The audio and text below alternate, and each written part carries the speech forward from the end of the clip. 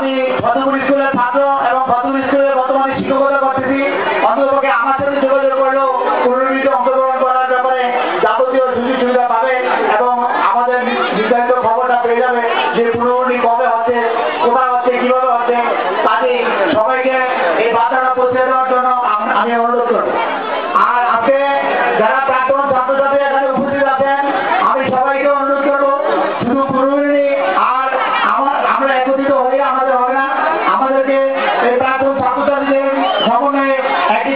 চালু করতে হবে।